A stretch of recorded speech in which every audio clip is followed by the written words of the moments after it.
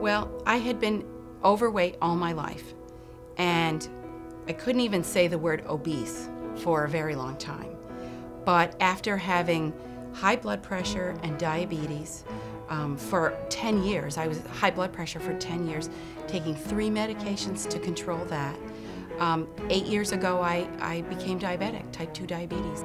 And I went to see the endocrinologist, and Dr. Malone said, there's a lot of different ways to manage this. Insulin will help us, but losing the excess weight will really help your body respond to its own insulin production. And so he gave me a, an information form, um, a flyer, that had the phone number of Dr. Baranov's office. I called the number, I went to a, an information session, and when I sat there and I listened to it, I thought, I can do this. I can do this.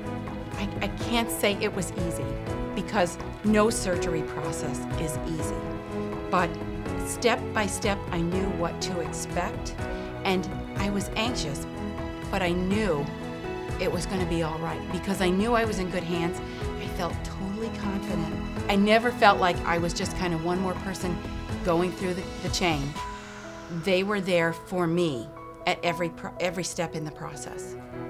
Dr. Baranov started it with the medical part, but the team has come along with the support at the end.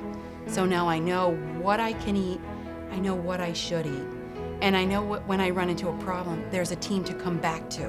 When I walked into Dr. Baranov's office for my first consultation,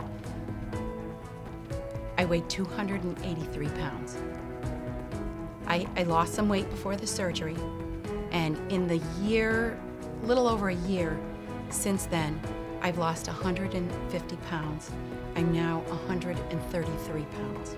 Bariatric surgery is one of the tools to use to get to those health goals that you want to get to. You want to be a healthy person. We all want to be healthy. So yes, a healthy diet is part of my life now, but I needed the tool of bariatric surgery to get to that next next step, which was taking control of my own life and my own health and, and owning my own health and the, the responsibility for, for taking care of my health. And bariatric surgery was the tool. And I'm so grateful that Dr. Baranov was there with his toolbox.